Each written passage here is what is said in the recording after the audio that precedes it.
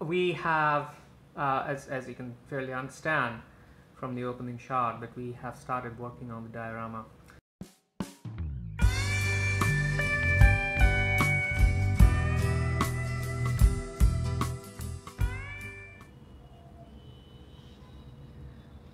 Well, now the the paper uh, that we uh, have used to uh, you know create the land is drying now. So uh, ideally uh, on wood, uh, it generally takes somewhere between um, 24 to 48 hours to totally you know dry and become solid.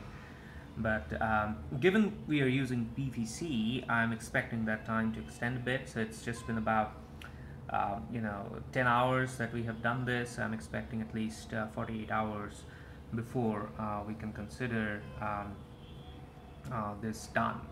Uh, however, uh, this this area definitely is not complete yet in terms of adding additional material, and I'll jump to it um, in a moment. Now, before I do that. So uh, you might have noticed that I have drawn some lines uh, uh, on on on board uh, right before I put those uh, you know started putting those papers and started creating the landscape. So let me explain that a bit. So this the first line this is going to be uh, basically the beach the, the, the sand in, in, in both the cases.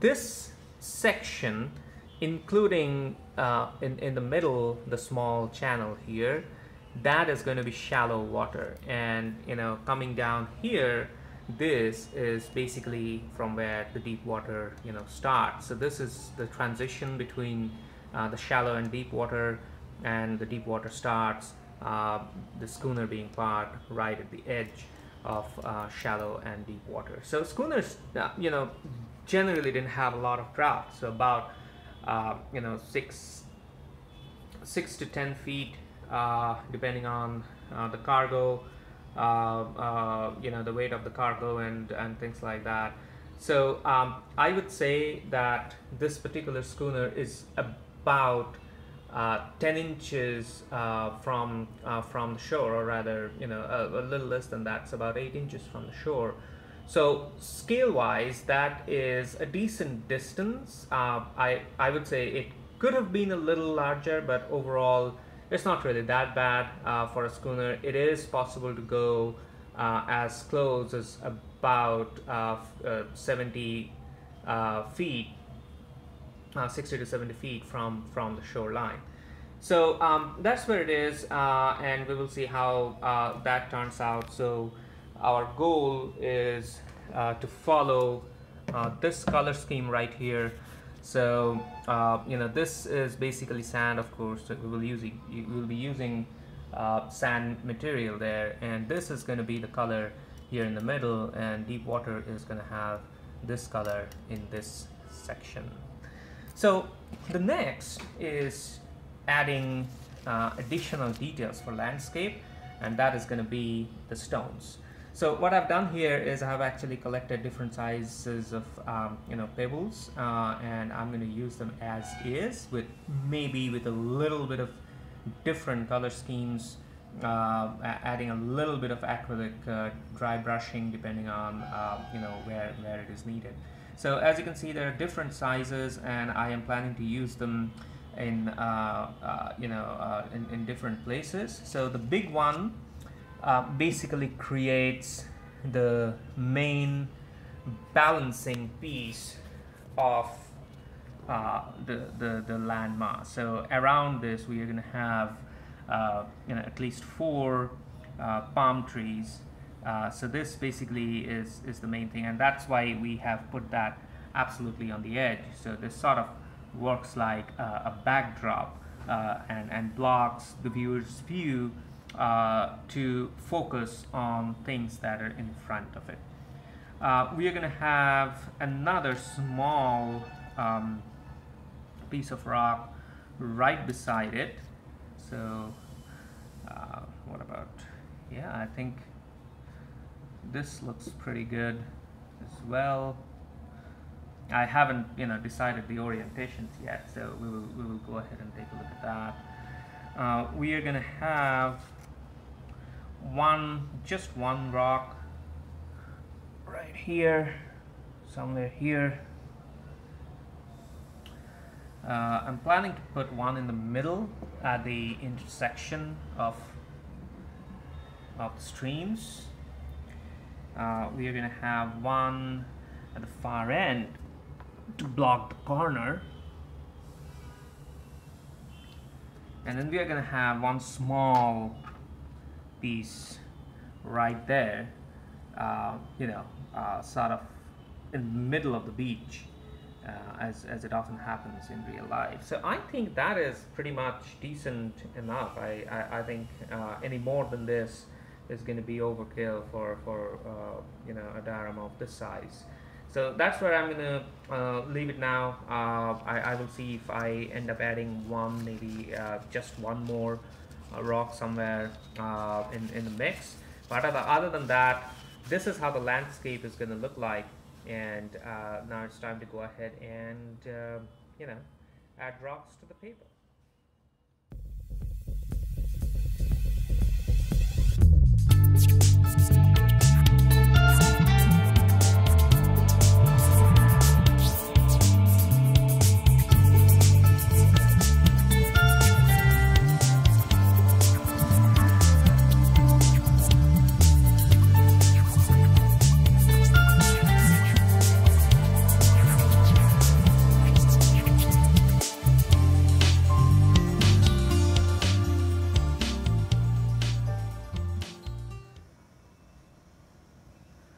Well, uh, now the paper has dried and uh, the surface is pretty much solid.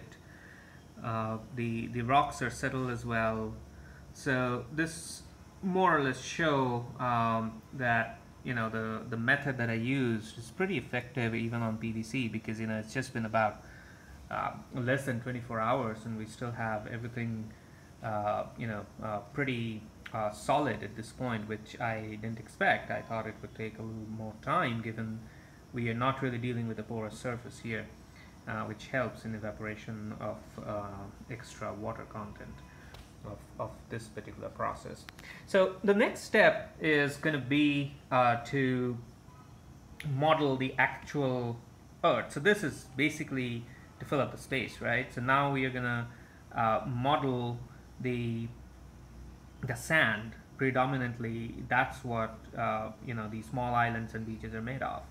Now what we're going to do and and you know from our experiment back back to that particular tile again so we are going to have two types of sands. So one is uh, going to be a little bigger in grain size.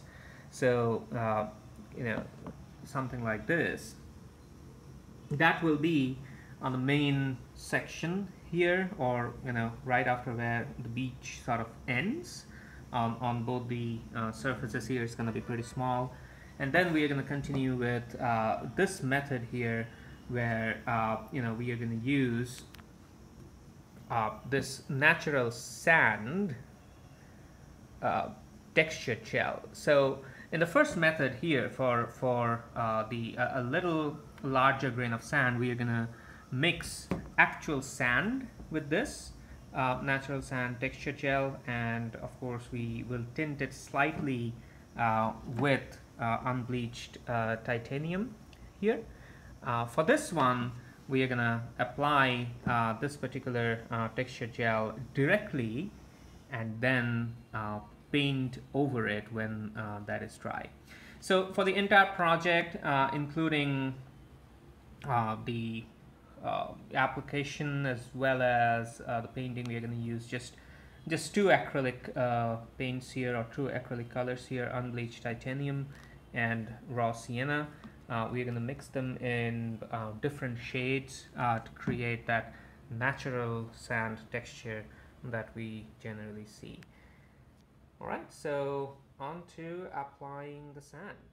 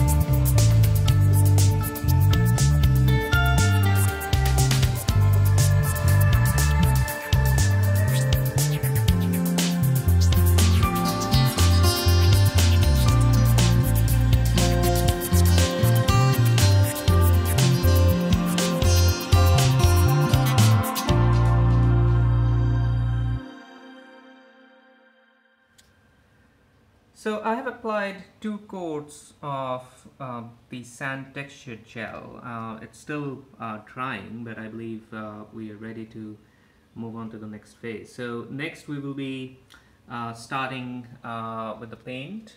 so the sand, as we had seen in the beginning, we will use two colors, raw sienna and, sorry, not this one, unbleached titanium. Uh, however, uh, along with that, uh, we will also be adding some uh, effect to uh, the you know rocks that are in the middle of the uh, of the sea. So, so we will be adding a little bit of green and green texture to it to simulate moss. along with the green texture, uh, we were also going to add what I added uh, to the ship, uh, a little bit of, uh, you know, to, to bring some texture out. We are going to add uh, these painted uh, gravel, N scale gravel, to, to give a little bit of more texture to the moss as well. Um, then we will start with painting the sea. we will use primarily two colors. Uh, we're going to use uh, bright aqua green and ultramarine blue. I am also going to take a look at if we can put the turquoise green in the mix and uh, we will see uh, if, if that works out. So uh, that's the project going forward and um, keep looking.